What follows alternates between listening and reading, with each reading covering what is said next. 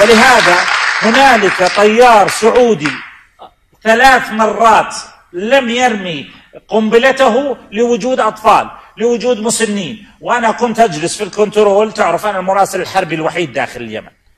وكنت أسمعه. يقول له ما أرمي؟ يقول له أرمي الهدف عند أنت فوق الهدف. يقول له لا في أطفال. الصماد وهذا خبر أعلنه من جامعة حائل تحديدا. الصماد الرجل الثاني بعد عبد الملك. كان بين مخالب صقر سعودي فأفلته إكراما لأطفال يلعبون.